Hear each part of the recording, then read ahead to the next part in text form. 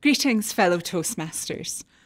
As your international president, I encourage you to attend your district's upcoming conference. Don't miss this special opportunity to learn and grow beyond the club environment. The district conference is a tremendous place to celebrate achievements and successes, network with your fellow members, learn and share ideas for improving your club and develop your communication and leadership skills. You will have the opportunity to hear inspiring keynote speeches, attend educational sessions delivered by outstanding trainers and facilitators. You may even make some new friends. I'm still friends with several people that I met at my first district conference in 2007.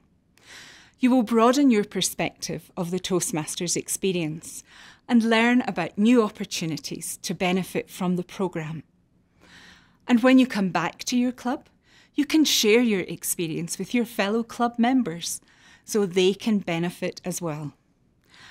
Most importantly, I urge you to attend your district conference. I am positive it will be an exciting and rewarding experience for you.